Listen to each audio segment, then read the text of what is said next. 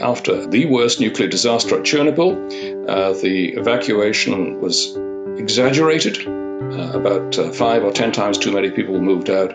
After Fukushima, no one should have been moved. Not, not 100,000, not 160,000. No one needed to move out of their homes. The Rational View is a weekly series hosted by me, Dr. Alan Scott, providing a rational, evidence based perspective addressing important societal issues. Hello, and welcome to another episode of The Rational View. I'm your host, Dr. Al Scott. On this episode, I'm going to be continuing my series looking at nuclear power, the risks and the promises of nuclear power for uh, addressing climate change and providing uh, near limitless power for society.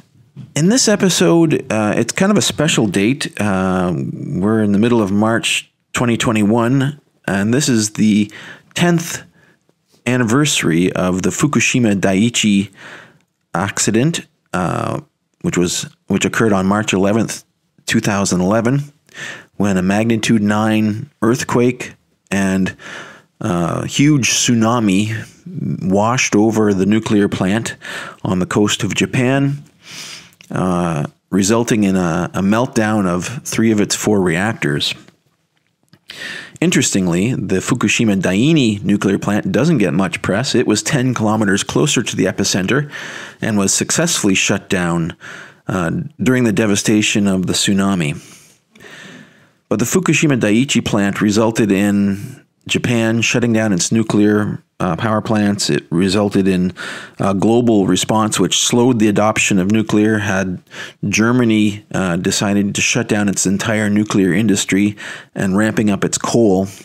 So the death toll from this accident was much greater than uh, what one might think from the radioactivity itself, which was decided to be relatively low in terms of its impact. The real impact was the fear response and the fact that it slowed the adoption of clean energy and increased the output of coal, which is known to kill people from the pollution and also from the climate change impacts.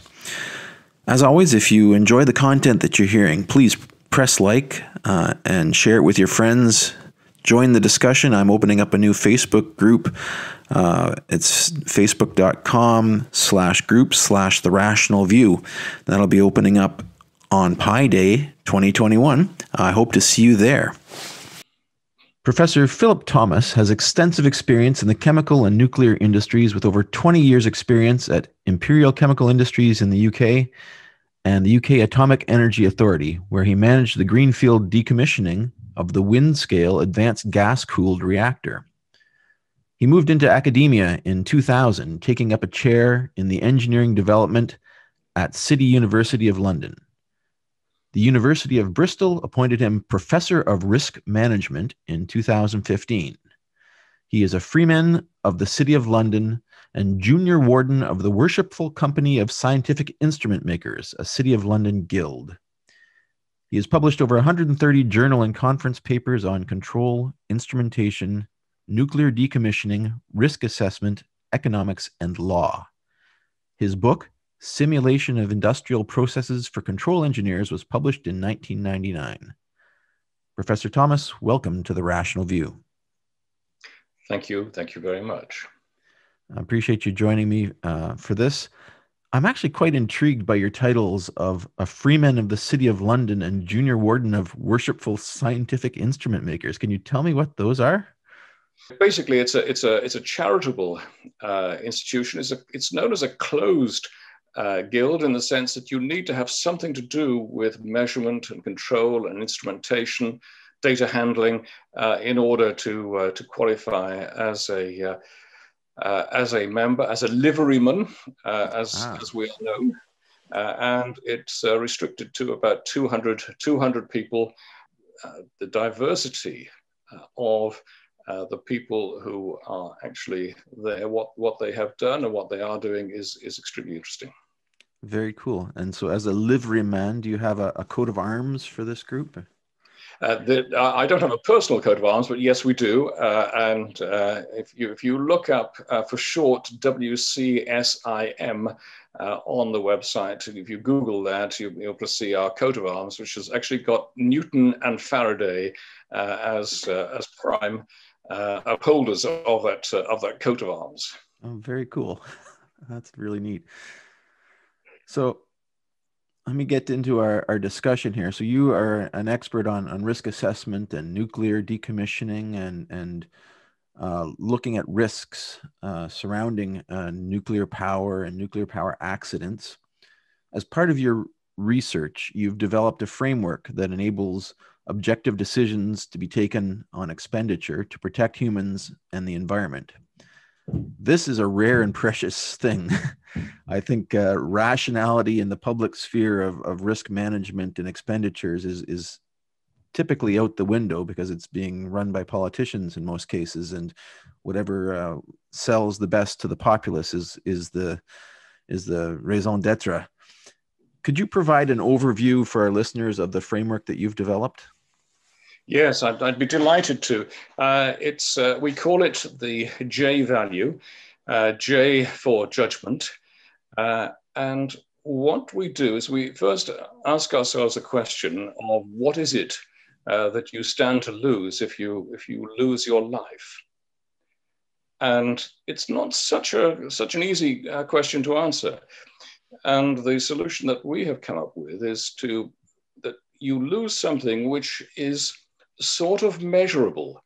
Uh, it is the life expectancy that you can you can expect to have from from this point onwards, and it's different for different people. It's certainly different for different ages.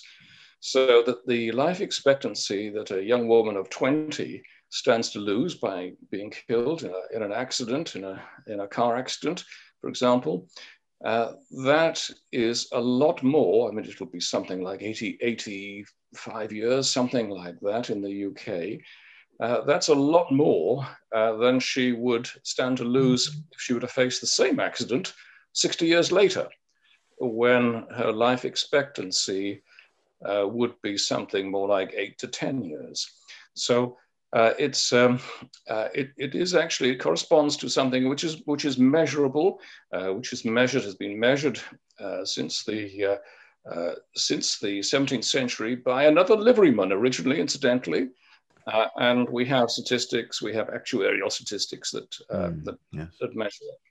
Now the the interesting thing is that, and the unique thing for for this method is that we can actually balance that against the cost of extending uh, that, that life, uh, of, uh, of restoring, uh, of, of avoiding a risk and restoring the life to what it would have been in the absence of the risk. Uh, we can, um, and we do that uh, through this method called the J value, brings in a, a, concept which is actually mathematically definable called risk aversion, which is more or less what it says it is. Um, uh, people who are more risk averse uh, have a higher value of risk aversion. Um, and if we actually look at a country uh, like Japan, it has a life expectancy at birth of around of nearing 85 years. If you look at some uh, sub-Saharan, much poorer countries, then their life expectancy at birth is, is about 30 years less. Mm but they are both taking, we can explain the decisions they're taking. They're both devoting a fraction, not all of their income, not all of their resource to trying to extend their lives. They've got other things to do as well, uh, other very important things to do. Um, but part of it they devote to extending their resource, and we can explain 80% of the variation of in life expectancy with gross domestic product per head, GDP per head. So we've actually got a totally rational basis uh, for for our recommendations. Okay, so this is uh, trying to put a, a, monetary equivalent, as it were. Uh, and I know I've I've looked at actuarial tables before, and and uh, in and it seems cold and and you know putting numbers on life, but people will say you know the average worth of a human life is ten million dollars for example, for actuarial calculations. Is that something like what this is doing? it's something like it. Um, and um, and what you say in as far as $10 million is concerned is not too bad uh, an estimate uh, from, from our perspective. The trouble with those estimates, there are two problems with those estimates. One, they actually put the same value on the 80 years, 80 year old woman's life as, as a 20 year old former self. Mm. Uh, hmm. which we would contend is inaccurate. It's rough and ready. Uh, it's, it's better than nothing, uh, but it's not terribly accurate. Uh, so that's that's the first thing. The second thing is it's very difficult uh, to measure. And in the UK, people have tried to measure that and they've tried to be scientific about it. But we found that when they do so, they can't, there are major flaws in their reasoning. And we've actually found in the standard, uh, the standard exercise, uh, which is used by the UK government, which actually incidentally puts a value of about two million pounds on a life, a lot less than the $10 million that you're talking about, then uh, that was that's actually invalidated by its own data. So um, there are real problems. Whereas the J value, it doesn't rely on anyone's subjective judgment. Uh, it relies totally on data. All its parameters come from data, uh, from data right across the world, across the whole of our, uh, uh, from 180 out of, out of 200 193 uh, nations who are registered with the UN, uh, they all conform to the same basic law. And so we think that we've actually got something which is objective, uniquely, it's entirely objective, it's entirely data driven. There is no aspect of subjectivity in it. And this is this linking um, life to economic productivity in some way then? No, it's not in the sense that not in that's not in a direct sense. So we don't. What we do is uh, our ethical stance, or the J values ethical stance, I should say, is to value the next day of life the same for everyone. So we value everyone's life expectancy, rich or old, rich or rich or rich or, or, or poor, young or old, the same. Okay, that's good. yeah. So this this is a very interesting approach and I, I really like the idea of the rational approach to risk management and this one of the reasons that i've got into this podcast and the rational view is is is that i'm aghast at at risk management in politics and, and in the social sphere but for this particular episode i wanted to focus a little bit on uh, the fukushima accident the, the great japan earthquake and tsunami uh, mm. occurred March 11th, 2011, and, and we're almost now 10 years to the day uh, of that occurrence. Uh, and at the 10th anniversary, I thought it fitting to review the event and its impact with an expert. Now, you have recently led a team applying the J value, uh, which you've just described to us, and complementary techniques to gauge how best to cope with a big nuclear accident such as Chernobyl or Fukushima. Could you uh, please summarize for our listeners, uh, you know, what happened at Fukushima and the string of events that uh, you've analyzed?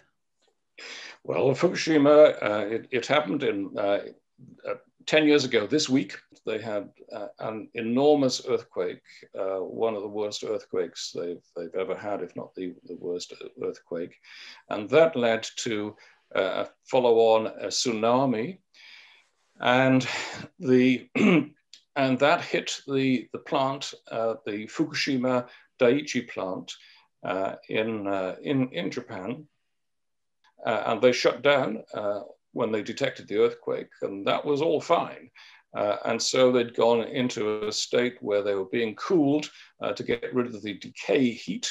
Um, but 45 minutes after they had shut down, they were hit by this enormous tidal wave what it did is it knocked out the cooling systems, knocked out the cooling pumps, uh, knocked out the cooling systems you need on a reactor. Uh, the, uh, the reactors uh, overheated, um, they melted, uh, the, the fuel melted, uh, it was contained within the plant, um, but there were gases that escaped and particulate that, that escaped, some particulate escaped, not, and um, uh, and uh, in fact, uh, this they were actually hydrogen explosions, not nuclear explosions, uh, but hydrogen explosions, uh, which vented this to the to the outside world. Uh, about 110,000 people were told that they needed to evacuate, uh, and which, which, they, which they did. Uh, and uh, they were joined by about 45 to 50,000 of their uh, of people who were living nearby who hadn't been told to evacuate, uh, but decided to do so anyway. So it was around about 160,000 in total of people evacuated. And so we, we, we examined that. I, I, led a, it was actually a multi-university uh, study. Uh, at my own university, I used the uh, J-value method to look at it. Uh, others, uh, the, other universities, Manchester used optimal economic uh, control. Uh, to, to look at the problem. Uh, and uh, the Open University looked at another, they, they had a collaboration with Public Health England and they looked at their codes. And the extraordinary thing is, and we were looking this in 2012, a year after Fukushima, uh, the extraordinary thing is that we all came, all these things were coming to the same conclusion, which surprised us, uh, which was that it was not a good idea to evacuate people from uh, a, after a big nuclear, the worst, some of the well, the worst nuclear disaster at Chernobyl. Uh, the evacuation was exaggerated. Uh, about uh, five or 10 times too many people moved out. After Fukushima, no one should have been moved, not, not 100,000, not 160,000. No one needed to move out of their homes. The first thing that I think our study actually showed uh, was um, that people should be aware you should be biased against moving people out. In almost no severe nuclear accidents should you be should you be moving uh, people out. Certainly not many people.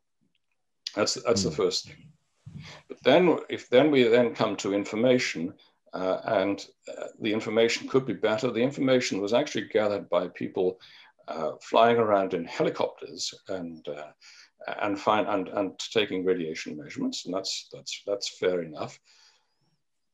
We have uh, we've looked at ways of improving on that, uh, and I think that would be the next phase of what I would like to see happening, because you can prove, improve on that. Uh, physics is uh, physics and technology have have moved on.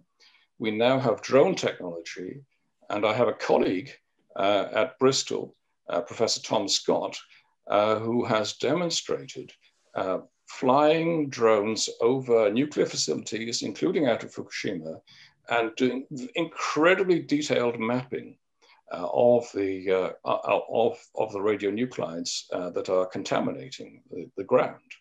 he's flown over a disused uranium mine in Cornwall and, and, and produced a very, very detailed map over quite a wide area. So it's hmm. potentially possible in the future to do far, far better. We have the information, we could use the, that information, we could translate that information on, on contamination into life expectancy uh, harm that would be done, uh, and we can do the whole job. And we can keep people informed in real time on an app on their phones. Oh, wow. Yeah, that would be really cool. So, just to to take a, a, a step back and look at the bigger perspective, mm-hmm. what what was the harm that resulted from this accident and from the evacuation? Can you summarize, you know, how many people died, how many people were got cancer, what what what happened and what was the result of those actions? Uh, well, no, no one died uh, as a result of uh, radiation exposure. The harm that was done uh, was actually the be best uh, es estimate we have of the harm that was done was about 2,000 uh, people in who were in um, old people's homes and old, older people were moved out and about over 2,000 of those died prematurely, earlier than you would have expected that a similar cohort to die within the next three years.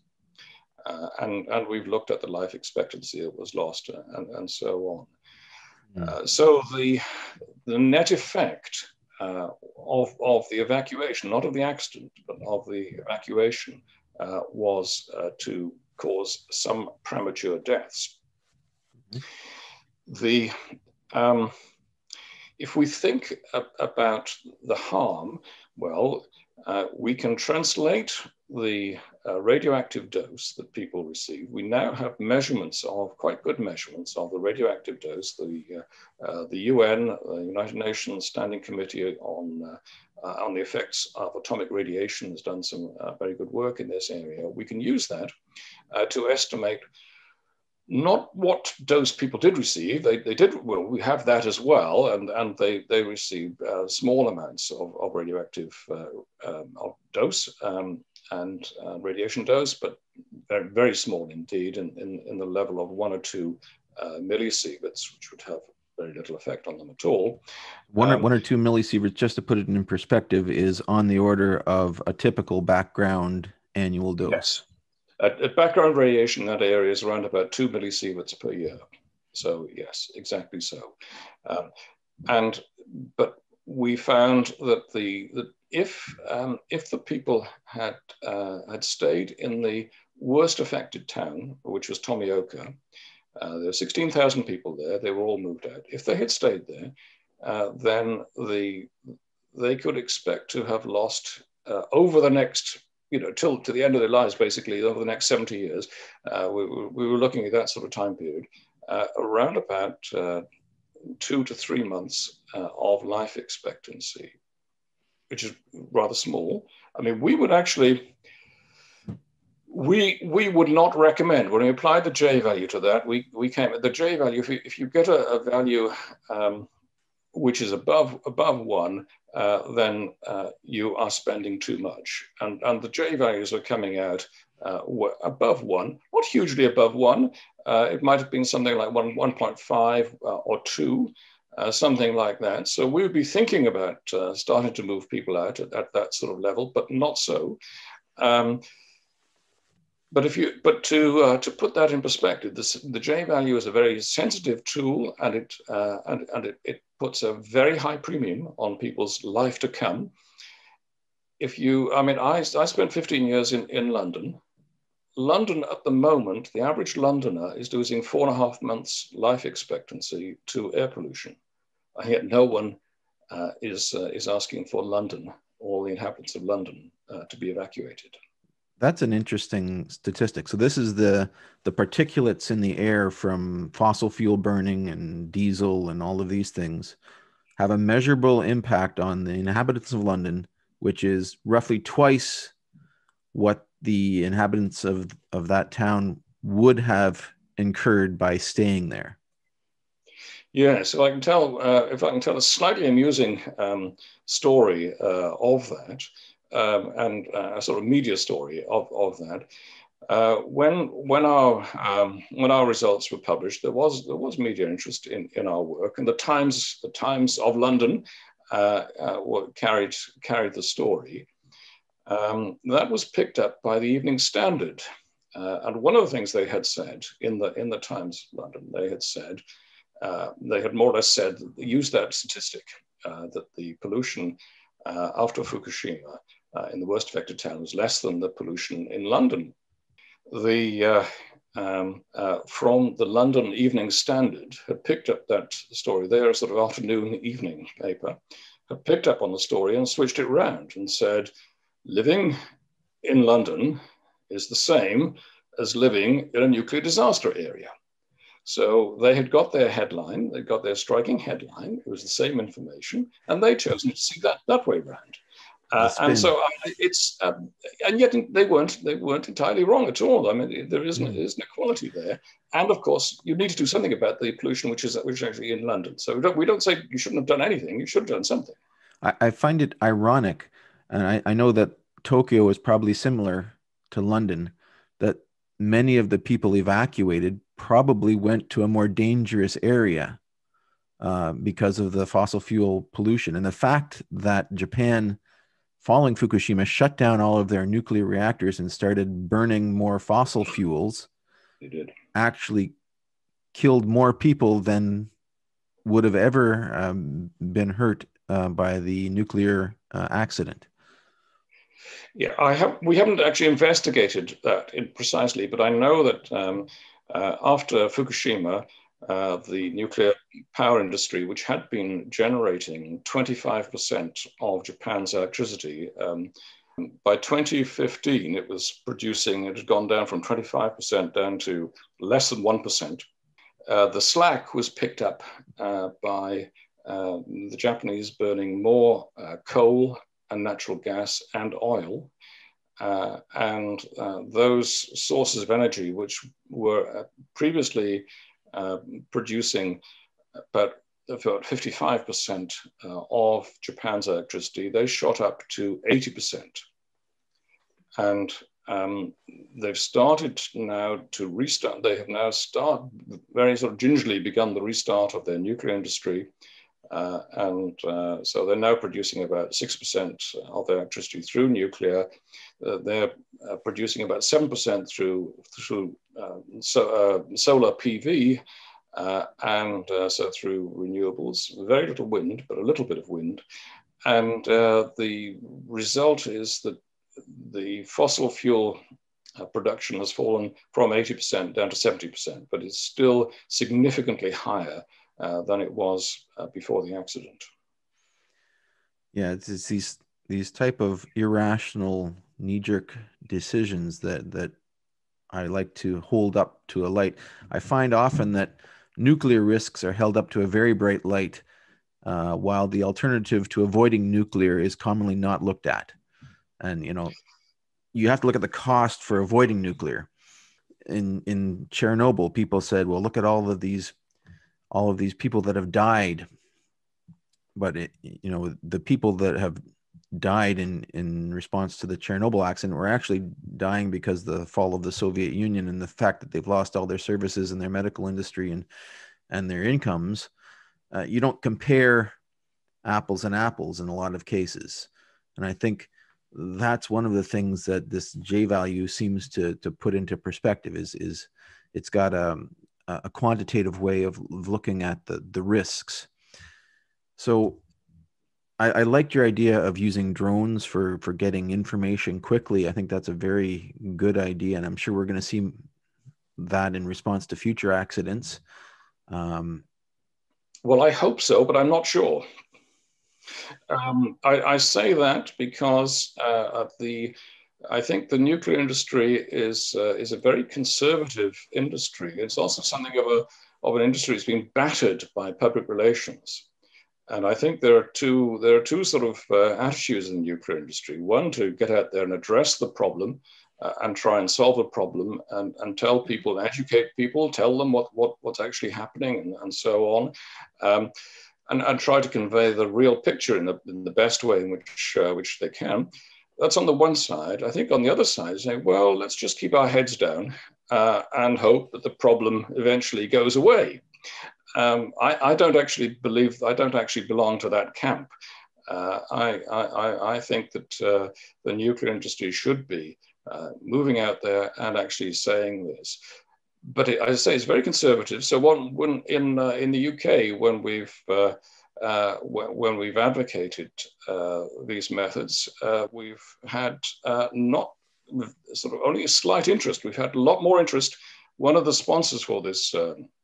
One of the sponsors for this technology was India, which wants to increase its nuclear power very considerably. they, they have shown a very strong interest in taking this further. Uh, but it, it, it's, it's not going to happen on its own. Uh, but it is, uh, it is as you, I think, uh, think and believe, uh, is that, that it, is, it has the potential to, to make a very big difference to the way in which people perceive nuclear. Do you um, provide guidelines in your paper about, you know, at what level of radiation, for example, people should be removed from their homes. I know, as you say, in the in the Fukushima area, the the increased radiation is similar to the background radiation, but Japan has a very low um, official safety level for radiation. Uh, and so they reacted differently than, say, a different municipality with a higher limit. And th- these limits, I don't know exactly where they come from, and I don't think they've been thought out rationally. As as we say, if if the limits were rational, every city in the world would be evacuated due to the due to the smog. they they come really from. I, I think if you ask them to explain why they have set upon their limits, I think they would they would not be able to take you very far.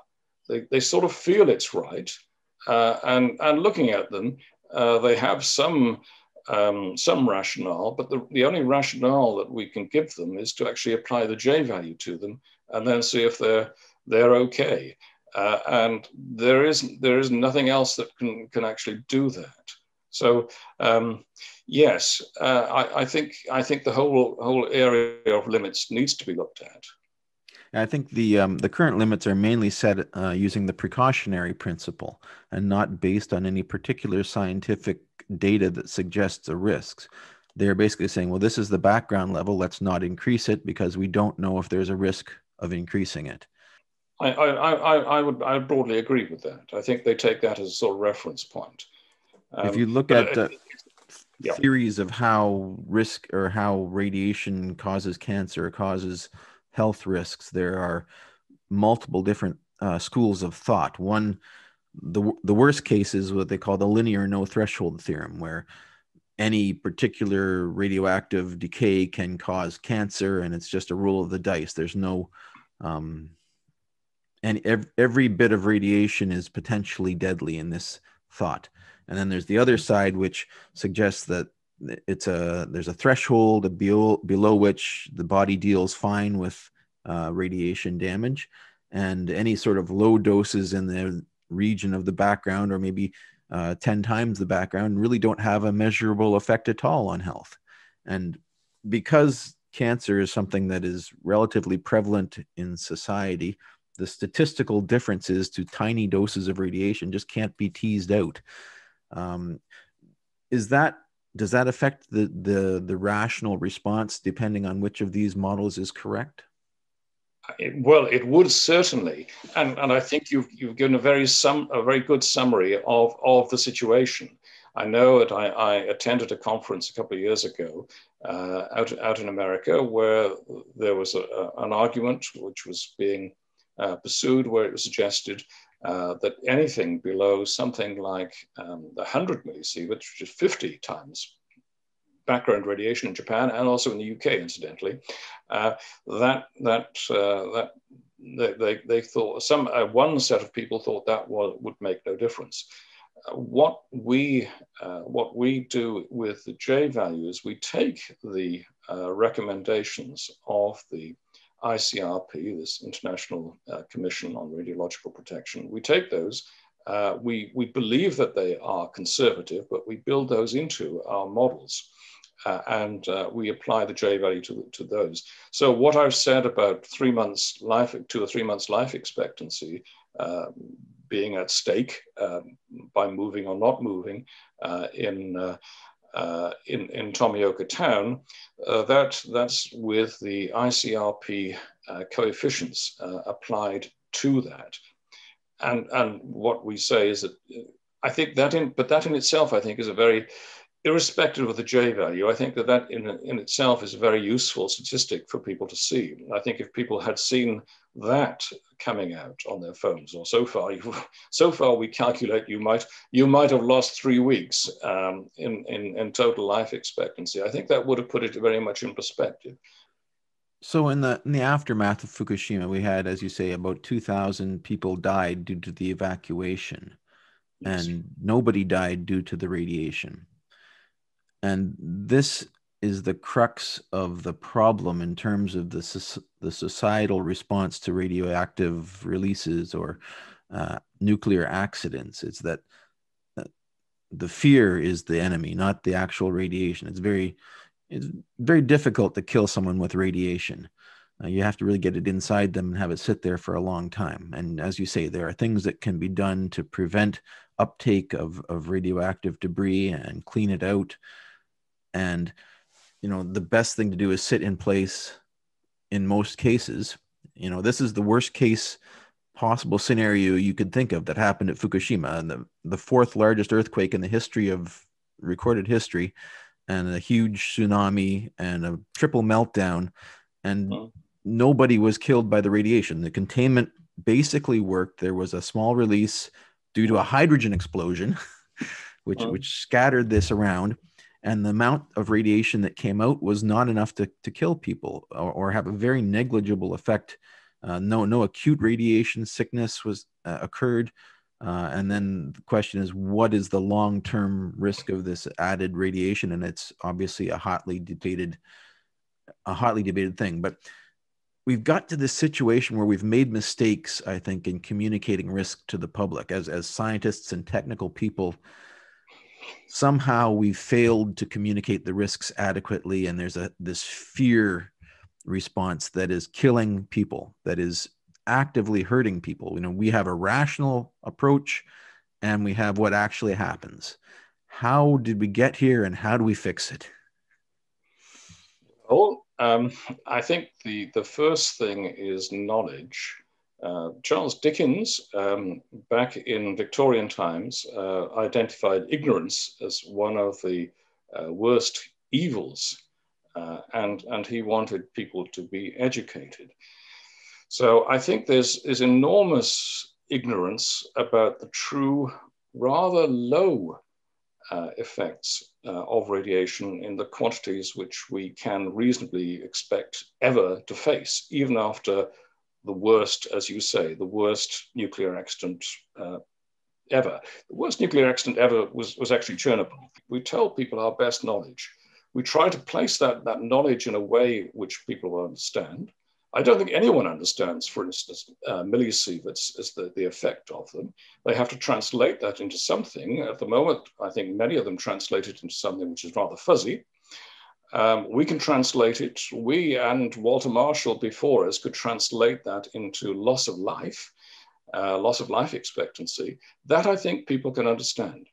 Um, to give you an, give you an example, um, we have looked at uh, we looked at the case uh, of the uh, food ban which had been in place in the UK um, from uh, for the whole of the 25 years between from Chernobyl in 1986 uh, to, uh, to past Fukushima in 2011.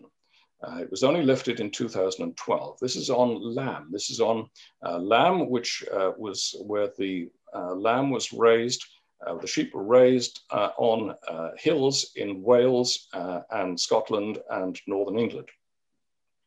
And because of the Chernobyl spread of low quantities of radioactivity, uh, across uh, contamination right, right across Europe. Um, had a, had a very, very small effect, but it is, I mean, we think, we calculate, for example, that, that uh, the average UK citizen would have lost four hours to the, uh, to the fallout from Chernobyl. Uh, we have done that calculation. Um, and but they they actually but in okay they, they thought this would concentrate in lambs we didn't do the calculation. We weren't uh, set up to do the calculation in 1986 but we could actually do the calculations in 2012 and when we looked at those looked at that and found the residual um, the residual risk was that if someone had exclusively um, lamb produced, the most radioactive lamb produced on the most radioactive uh, uh, lamb, uh, sheep uh, that, that uh, came down from the hills uh, and at prodigious amounts of lamb. There couldn't be too many of such people, by the way, because there wasn't enough lamb, but nevertheless, if this, this happened, um, then that person might lose four hours of life expectancy. Wow. And if if uh, if it had been spread across the sort of consumption of the whole of the UK, the life expectancy lost would have been uh, measured uh, in microseconds. That that's on the order of like you know walking by someone smoking a cigarette. Yeah, I expect so. Yes, of that, of that of that order. Yes, exactly. And, and I mean, they they they are such palpably ludicrous figures that one comes up with, and I think people can look at that and say, well, gosh, no, that, that's that's that's too much. But that, that ban was actually kept in place uh, when that was when that was happening. It's now has now been lifted. But that's the sort of thing you can do. Uh, again, irrespective of the J value, if you just work with life expectancy, it's an extremely powerful statistic. Hmm. It'd be interesting to calculate uh, the actual um, loss of life expectancy from the evacuation to a more polluted area. I mean, you've actually that did happen. that, that, that, well, uh, we could we could do one of those things because that, that happened. Um, it, it, actually one of the uh, one of the evacuation spots uh, after Fukushima uh, actually uh, gained them an extra dose of about uh, four or five millisieverts because they'd moved to a slightly more polluted area. Um, so that did actually happen then. That was easy to look at. It was deleterious to move where they'd moved to. Or, or, or moving to Tokyo where the, the air pollution is worse. Uh, yes, yes, that's um, that, that too. Again, we haven't done a calculation, but not to potentially, yes, yes. Yeah, I, I think that you know the public is reacting to the actions of governments, and and believing that you know in a rational sense nuclear must be horrible because look we're going to these polluted cities rather than staying put um, so a rational person would see this action and interpret nuclear as being something must be being hidden from us. Yes. Because why would they evacuate us if there's no danger? I think that's I think that's exactly right. In fact, the J value allows you to sort of have a sort of insight in, into what you have just said. Uh, it gives you another explanation for it because it does it does say there is a there is an equivalence between uh, what people would ideally spend uh, on safety uh, and and and and the uh, the amount of hazard which it's uh, which it's it's it's um, uh, risk which which which it's uh, taking away, and that um, and if you think of someone, I mean, if you think of the the, the average person at, at, at Chernobyl who was uh, seeing his government, I mean, the people around Chernobyl, they're not certainly weren't weren't, des- weren't desperately prosperous, certainly not by Western standards. Uh, and they they would have seen uh, their government, which they felt hadn't really taken too much notice of them before, but suddenly they were spending like it's no tomorrow. And I think exactly your thought that they would think either that we're being saved from something terrible, or, and there's evidence for this, uh, they thought, well, we're being paid huge amounts of compensation uh, by the government, which is flailing around trying to uh, keep us happy after the terrible fate that has now befallen us. And so we are now going to, uh, we, our lives will have been foreshortened. We will die young, or certainly younger than we were when we, uh, what we expected to be when we died. And the, the result of that, of course, is that um, a large section of that population then um, indulged in uh, rather risky behavior uh, as a result. We'll say, we've got nothing to lose. So yes, I think that's right. I think it's it is that message does go out to people. Yeah, the lack of of rigor in the in the response is is more damaging than the the act or the, the accident itself. Um, so based on all of this and your your research into relative risks and how to judge them, I'd, I'd be interested to hear your opinion on nuclear energy uh, going forward, knowing that there's a possibility of a further meltdown or nuclear accident, um, however slight. What's your opinion on nuclear energy in light of, of climate change concerns and fossil fuel burning and risks? How do you see this as a is, is nuclear energy a solution uh, for some of this, or should we be avoiding nuclear energy in the future? No, I think it's I think it's necessary. I think it's the uh, it's the only uh, concentrated form uh, of uh, of uh, energy production uh, which can operate without producing carbon at the, at the, point of generation. so I, I, think that I mean the renewables have their place, but they are intermittent. Wind, solar, they are both intermittent. Uh, but nuclear uh, is, uh, is, can be, is a, a, a, pretty safe and, and secure way of, of, producing energy. And we do need that. And we do need that to avoid, to avoid the climate change that that we are now all aware of and, and is and there's evidence very good evidence that it is happening so yes nuclear is is is needed for that I think that the nuclear industry uh, still faces an existential threat. After Fukushima, Germany decided to move out of nuclear. Uh, I actually say, I mean, I am parti pris, I know, but I see no, no way for it to address that, that threat squarely unless it adopts the sort of methods, um, the J value methods that, that we have, uh, have been using. That's very, very interesting. And I think it's something that needs more publicity. And I think we need to get um, these sort of analyses in front of decision makers and get the processes in place where people can make rational decisions in relation to risks. And I agree with you. I think the most rational way forward is that we need to expand nuclear energy massively um, to decrease the risk of fossil fuels on both the climate and on the the local pollution and and livelihoods of people if we want to save lives and uh, make the world a better place. Uh, abundant high intensity energy sources are a requirement, I think. And yes, solar and wind help uh, to some extent, but they aren't going to do the heavy lifting we need to, to get rid of fossil fuels in the near future, at least. So I think we're getting to the end of our time slot. I'd like to thank you for joining me and sharing your expertise with our listeners. This has been great. Uh, much appreciated, uh, Professor Thomas. Thank you for coming on The Rational View. Thank you. Pleasure. If you'd like to follow up with more in depth discussions, please come find us on Facebook at The Rational View and join our discussion group. If you like what you're hearing, please consider visiting my patron page at patron.podbean.com slash The Rational View. Thanks for listening.